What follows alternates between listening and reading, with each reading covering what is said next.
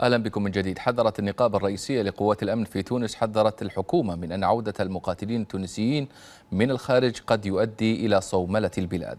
وطالبت النقابه بمنع هؤلاء المقاتلين من العودة وسحب الجنسية التونسية منهم. وحذرت من أن عودتهم من بؤر التوتر إلى تونس ينذر بالخطر معتبرة أن السماح بعودتهم سيشكل دعما لتوسع رقعة الإرهاب وانتشاره. واتهمت النقابة أطرافا حزبية تونسية لم تسميها بمحاولة تبييض المقاتلين التونسيين في الخارج. وتتقدم المساعي الدولية في سوريا والعراق وتتحقق أو تحقق تقدما على حساب داعش. وبقدر ما يشيع الأمر ارتياحا دوليا بعد الخلاص من التنظيم تزداد المخاوف في البلدان التي أتى منها الإرهابيون من مخاطر عودتهم إلى بلدانهم. المركز الأوروبي للإرهاب كشف عن إمكانية عودة ثلث مقاتلي داعش الأوروبيين إلى بلدانهم مشيرا إلى أن بينهم من سيرجع وفي نيته القيام بعمليات إرهابية في بلدانهم. ونبه التقرير إلى نساء المقاتلين المتواجدات في العراق وسوريا وأبنائهم واصفا إياهم بالخطر. وأفاد التقرير الأوروبي بأن مسلحي داعش العائدين سيسعون إلى البقاء على اتصال مع التنظيم عبر وسائل التواصل الاجتماعي. ويقول الخبراء إن عدد الإرهابيين الأجانب كبير جدا تحديدا في العراق وسوريا حيث يصل عددهم إلى نحو 30 ألفا. ومع تراجع رقعة سيطرة التنظيم فإن عددا منهم بدأ العودة إلى بلدانهم ليس فقط إلى أوروبا بل وأيضا في تونس والمغرب والمنطقة العربية مشيرا إلى أن من الممكن أن يرتكب هؤلاء هجمات إرهابية أقوى بكثير في دولهم الأصلية ردا على الضغوط التي يعانون منها. للحديث عن هذا الملف نرحب بضيفينا من الرياض الباحث في شؤون الجماعات المتشددة حمود الزيادي ومن عمان الكاتب والباحث السياسي حسين الرواشدة أهلا بكما ضيفي. أبدأ معك سيد حسين الرواشدة ضيفي من الأردن. يعني مع تراجع تنظيم داعش ميدانيا في سوريا والعراق ما حجم الخطر الذي تشكله عودة المتشددين إلى بلدانهم؟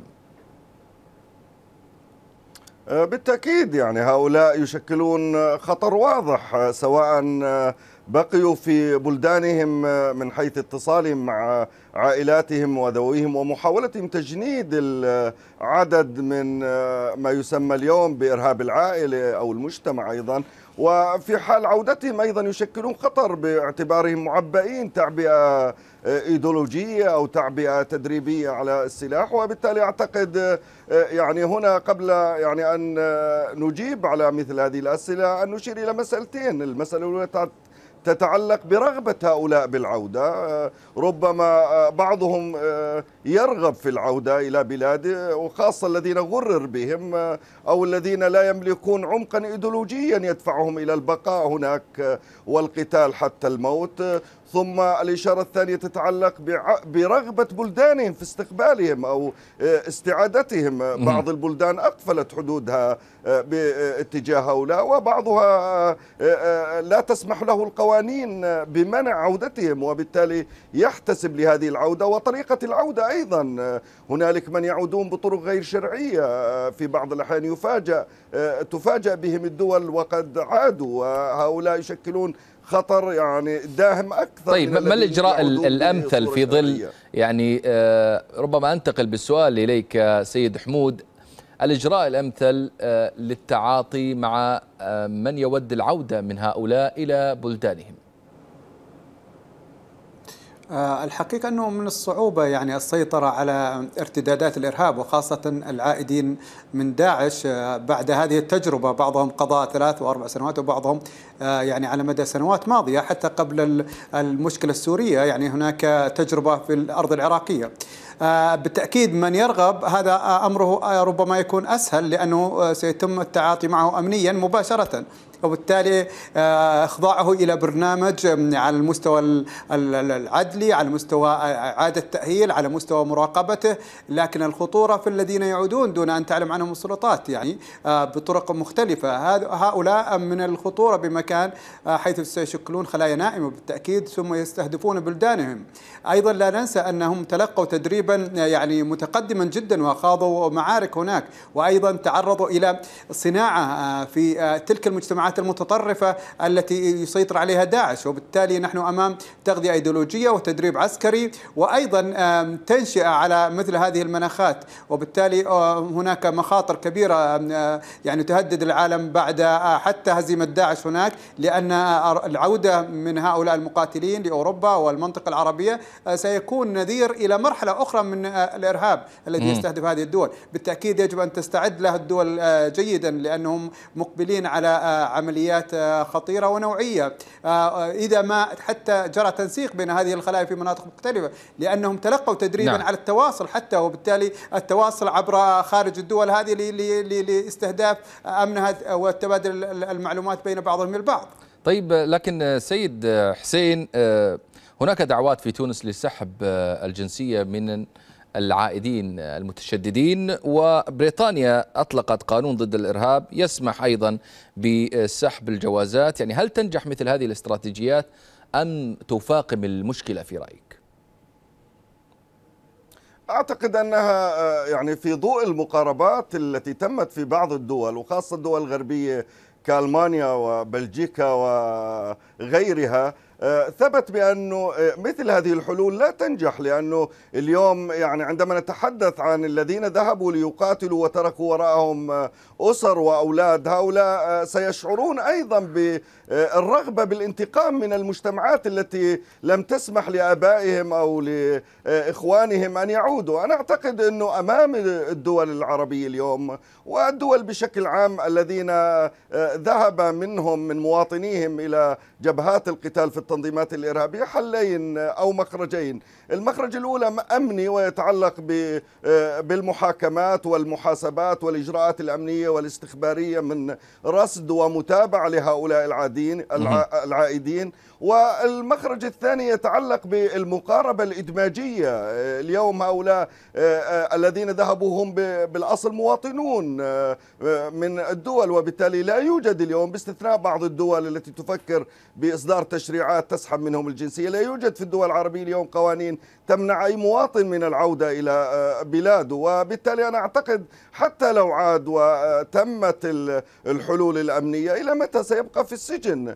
نذهب مرة ثانية إلى الحلول الإدماجية. وبالتالي أنا أعتقد أنه أمام الوضع اليوم وخاصة مثلا في الأردن اليوم عندما نتحدث عن ما بين لكن 1500 لكن فكرة إعادة الدمج يعني كثير من الخبراء يرون أن ما أن يدخل عدد من هؤلاء إلى يعني إلى التعبئه إن صح التعبير يصعب جدا إبطالها سيد حسين.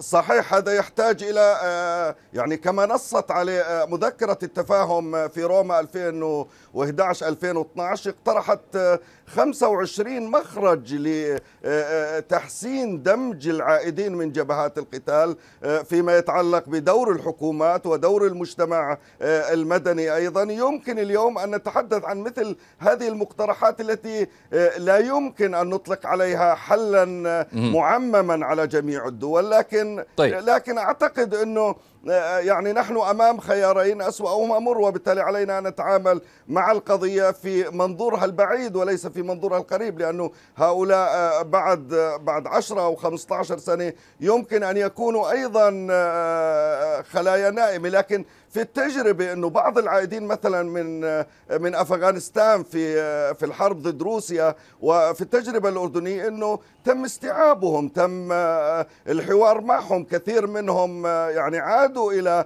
اندماج بالمجتمع واليوم في بعضهم حتى يتبوأوا مواقع متقدمة في بعض المراكز. أنا أعتقد أنه مسألة التصنيف هنا ضرورية لمعرفة من ذهب ليقاتل من عبي ايديولوجيا من ذهب لأغراض اغراض مادية. أعتقد طيب. إنه اولا إيجاد مخرج ضروري ثم دراسة الحالات كل حالة تبعا لظروفها مسألة ضرورية أيضا. لكن هذا يدفعني لسؤالك سيد حمود أنهم سيواصلون لعب دور ربما ليس مباشر بصفة داعمين أو وسطاء.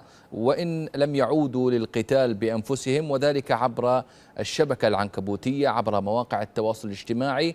وأيضا هناك عدد كبير من الخبراء يرون أن المشكلة هي تفوق وتتجاوز قدرات الأمن. كيف يمكن ضبط المسألة مسألة التواصل في ظل هذا الفضاء آه، عبر مواقع التواصل الاجتماعي؟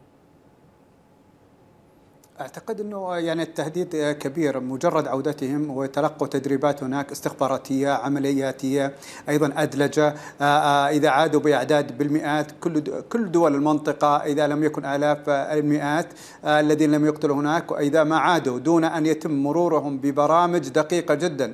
وبعد التأكد من يعني من أنهم خرجوا من هذه الأدلجة وهذا الانتماء الأيديولوجي لهذه التنظيمات عبر برامج دقيقة وعبر سنوات طويلة أنا أعتقد أنهم سيشكلون خلايا تستهدف أمن الدول التي يعودون إليها. لا ننسى أن التجربة الأفغانية مختلفة عن التجربة في سوريا والعراق.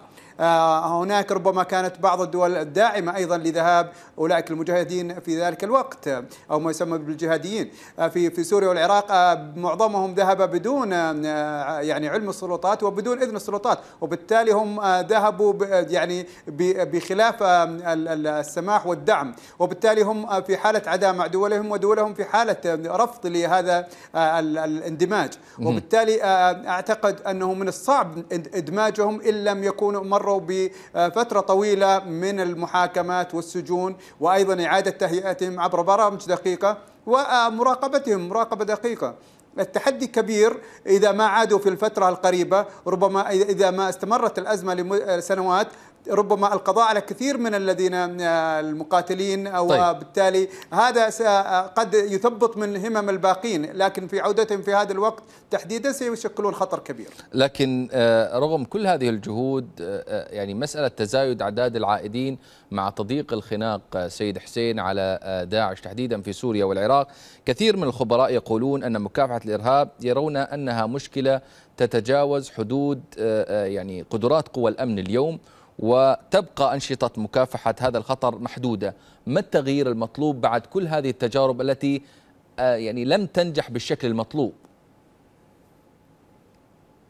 أعتقد إنه يعني آه، في الأردن مثلا التجربة الأحداث التي مرت فيها الأردن في آه، الأسبوع الماضي العملية الإرهابية التي حدثت في آه، محافظة الكراك تؤكد ذلك تؤكد أنه يمكن لهؤلاء العائدين لأنه بعضهم اثنان منهم عادوا من القتال في سوريا من الإرهابيين واثنان كانوا يريدون الذهاب وبالتالي يصعب على الجهات الأمنية مهما كانت قدراتها أن تضبط مثل هذه التحولات رغم أنهم كانوا مودعين في السجن وخرجوا من السجن. بحاجة اليوم لمزيد من التطوير في التشريعات أولا مزيد من التطوير في البرامج الإدماجية وخاصة داخل السجون. لا تنسى أنه أحيانا السجون تتحول إلى جامعات لتخريج الإرهابيين وبالتالي علينا أن نوجد برامج لإعادة تأهيل مثل هؤلاء لدينا في الأردن أيضا برنامج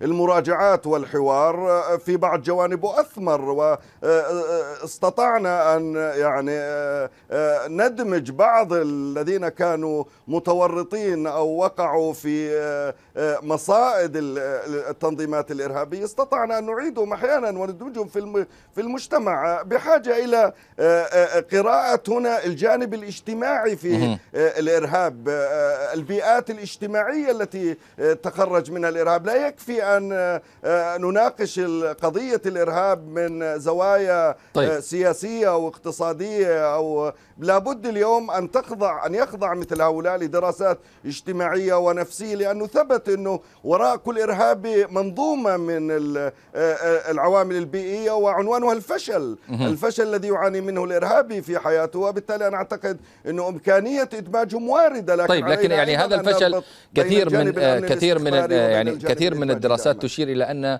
بعض الدول والمجتمعات تتحمل نتيجة يعني فشل هؤلاء وبالتالي إلى أي درجة سيد حمود تلتفت الدول آه، إلى آه، يعني مسألة البناء من جديد خاصة دول أوروبية آه، يعني تعود من جديد لإيجاد حلول للمشاكل التي نتجت عنها تزايد عدد هذه الجماعات المتشددة. أعتقد في التجربة الأوروبية هي تجربة أكثر تعقيدا لأن الكثير الذين انضموا لداعش تحديدا هي من المجموعات المهمشة والتي آه، تم عزلها هناك في المجتمعات وبالتالي أرادت أن تعبر عن هوية جديدة ولذلك لم تجد أمامها إلا داعش حينما تغلغل بخطابه آه، وبالتالي وأثر فيهم وبالتالي إلى مجتمع جديد آه، ربما يجدون أنفسهم فيه وبالتالي التعبير عن ذواتهم هذا الخطر بالتأكيد أوروبا ستشهد أخطار أكبر أعتقد من الأخطار التي ستواجه الدول العربيه لأن العائدون من هناك سيكون هم غالبا يكونون منخرطين في خلايا مقاتلة ومدربة جيدا وبالتالي لديها أهداف ولديها اتصالات مع بعض المجموعات المهمشة وبالتالي تشكيل خلايا جديدة. الخطورة هي في أيضا استمرار حالة الاضطرابات السياسية في المنطقة، هذا سيكون حتى في حالة عودة هؤلاء سيكون ذلك مغذي لأن يستهدفوا الدول التي ينتمون إليها أو حتى عودة بعضهم مرة أخرى وبالتالي ذهاب وعودة وبالتالي استمرار يعني إنتاج الخلايا الإرهابية وإنتاج الأجيال الإرهابية جيلا عقب جيل. هذه المنطقة طيب. إذا ما إذا ما استمرت اضطرابات فيها فإنها ستولد الكثير من هذه المجموعات الإرهابية.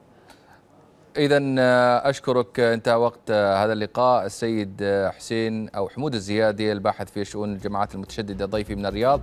وشكرا جزيلا لضيفي من عمان حسين الرواشته الكاتب والباحث السياسي. شكرا جزيلا لكم ومشاركة هذا الحوار.